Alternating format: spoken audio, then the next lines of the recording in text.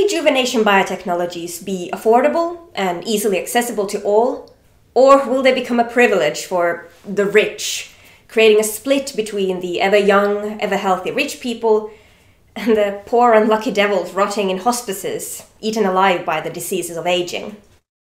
This is a legitimate concern, though more often than not, it escalates into a backward, rage driven holy war against the rich and their privileges, which equally often ends with the conclusion that rejuvenation is a bad idea because, let's face it, it would of course be only for the rich. And since we're the good guys siding with the poor, we should oppose rejuvenation to save them from yet more discrimination and prevent the rich from becoming even more privileged. Yeah. That's that's not how it works.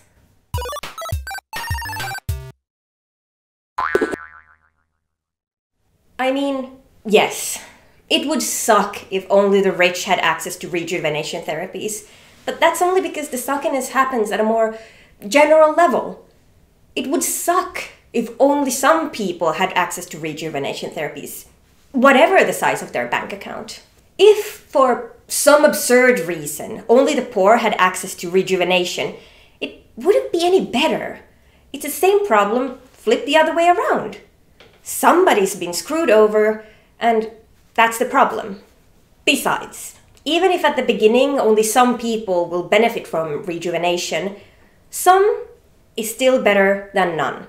Just because not everyone can have it, it doesn't mean no one should. If we had a miracle cure for cancer on the drawing board, but it turned out to be ridiculously expensive, what should we do?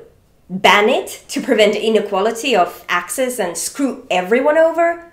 Or have it developed ASAP and then do our best to ensure the widest possible access as soon as possible? Yeah, that's what I thought. But for the sake of the argument, say that we decided to ban rejuvenation before it was even created to prevent any inequality of access from happening. Who would stand to gain from this?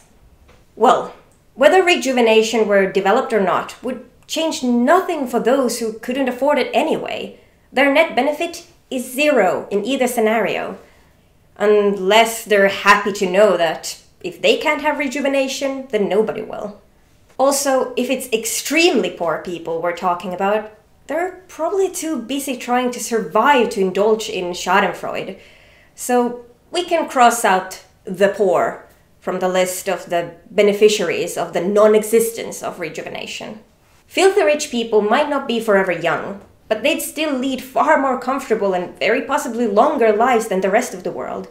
So all they'd lose is a potential benefit which, incidentally, everyone else loses in the process as well.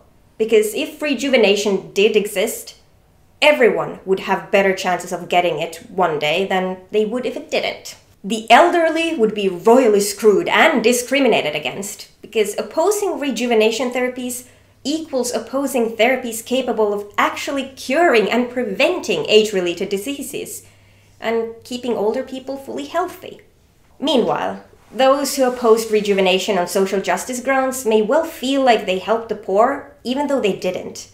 And it didn't cost them anything but the effort of raging against something, which people very much enjoy doing these days. Also, they don't have to worry that rejuvenation might ever be added to the list of things they have to feel guilty about compared to the poor.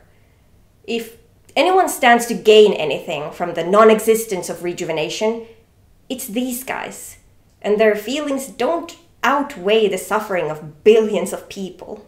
In short, banning rejuvenation would prevent inequality of access if the price tag were too steep, but it would also hang everyone out to dry, so at this point, it might be worth looking into whether the price tag would be that steep.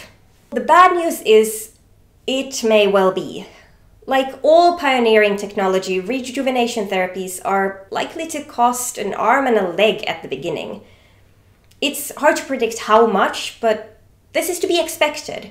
And the reason is not that big pharma is evil and wants to milk every last cent out of you. Drug development is ridiculously expensive and has an abysmal rate of success.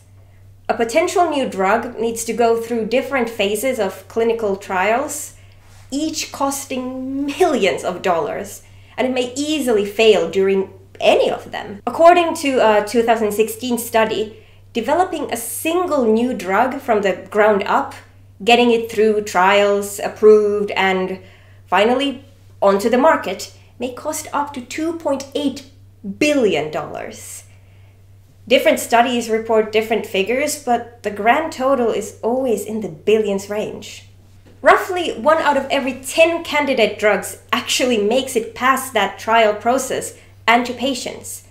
And given that a pharma company generally works on many drugs at the same time, most of the money they spend is thrown out of the window, never to return.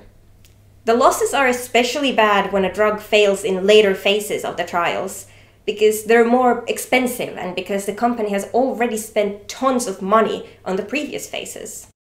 Arguably, the more complex the drug, the higher the development costs, so, drugs that literally rejuvenate people are probably going to be a touch pricey at first. Still, already now several companies are working on specific rejuvenation therapies, and competition usually leads to lower prices and drives further innovation that allows to produce more effective drugs at a lower cost. On top of that, when drugs go off patent, other companies are free to create their own versions of the original drug and they generally wind up being cheaper. Again, timeframes cannot be reliably predicted, but it's unlikely that rejuvenation treatments, or any treatment for that matter, would be super expensive forever. In any case, health insurance, or governments through socialized healthcare, might pay to rejuvenate people. In most countries of the world, around 70 to 100% of the population is covered by either health insurance or free government health care, and they already pay for geriatric treatments that aren't really effective. It might be in their best interest to pay for medicine that actually works and keeps people healthy, so that their medical expenses are mostly limited to rejuvenation itself. People working in companies often have health insurance paid by their employers and the goal of rejuvenation wouldn't be any different from any other medical expense that employers are paying for already, keeping their employees in good health and fit for work. Also, a rejuvenated citizen can work and pay taxes for longer and doesn't have to be paid a pension until death, which may be another incentive for governments to step in. We have an entire episode about this if you want to check it out. Regardless of all this, the problem of inequality of access wouldn't exist for rejuvenation or anything else if there wasn't such a large divide between rich and poor to begin with. And actually, we're getting there. For starters, there aren't just rich and poor in the world. Wealth is a spectrum, and there are different degrees of poverty and richness. The difference between the poorest poor and the richest rich is huge, but most people of the world lie in between them. And as a matter of fact, world poverty has been falling dramatically since 1970s.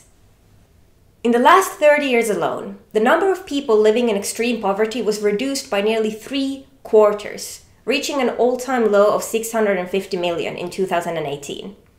Granted, that's still a lot of people, but it's a lot less than the 1.9 billion people living in extreme poverty in 1990. It's also true that extreme poverty is such for a reason. It means living on less than $2 a day. And there are still richer poor people having a real hard time making ends meet. The World Bank has a stated goal of ending extreme poverty by 2030.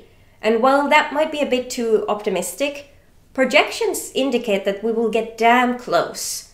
Less than 5% of the world population is expected to live in extreme poverty by then. There is definitely hope that, one day relatively soon, being too poor to afford basic needs won't really be a thing anymore.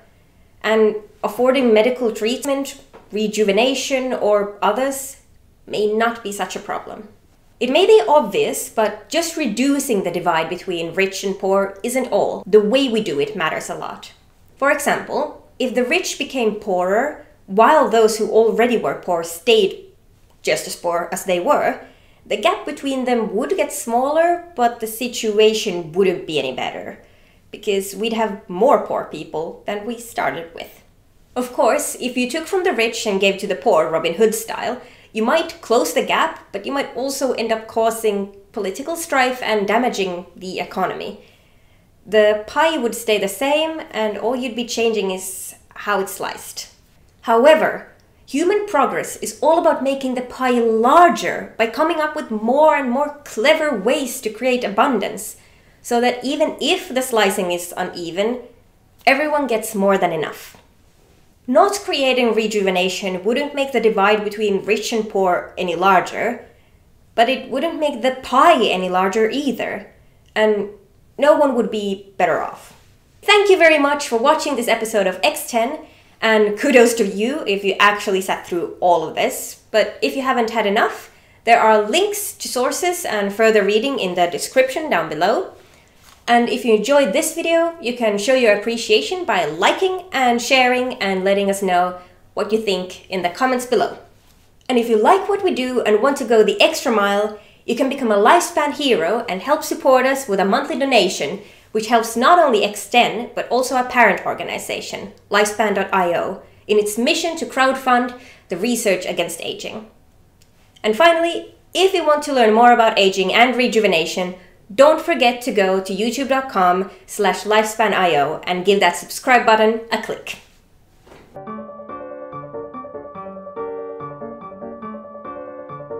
It would suck if only some people, whatever the size of the, the fuck. First of all, no. Fuck me. Waka waka waka waka. Or have it de- developed. Developed. Or have it de- developed. Why do I do that? Say that we decided to ban rejuvenation before it was even created to prevent any in. Okay, sorry. My brain is not with me today. I mean, it is, but I kind of left it there by the shoes. Filthy rich people might not be forever young, but they'd still lead for. for the f. Also, they don't have to worry that rejuvenation might ever be added to the list of things they have to feel guilty about or com- fuck you mother.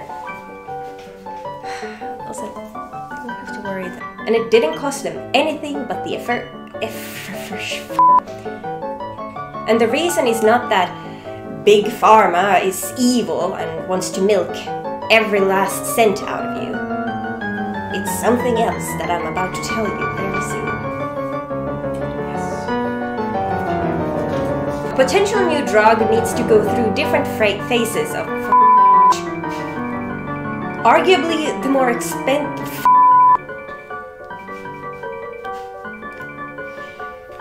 On top of that, when drugs go off pa- patient, not patent, off patient, we have an entire episode about this. F- why do I do?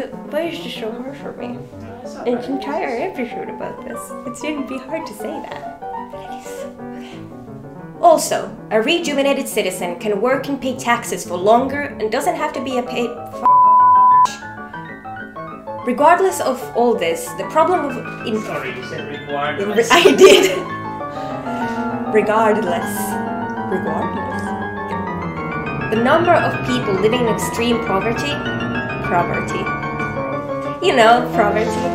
That thing. Reaching an all time low of 650 million in 2000.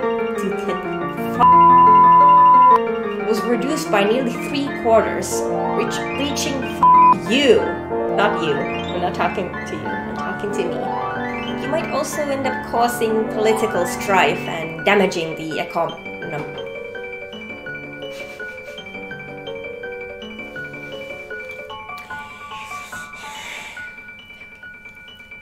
And if you like what we do and want to go the extra mile, you can become a lifespan hero and support us with the Please support us. with a. Anyways, okay. And finally, if you want to learn more about aging and rejuvenation, don't forget to go to youtube.com slash lifespan. you thought I couldn't do it, but I did.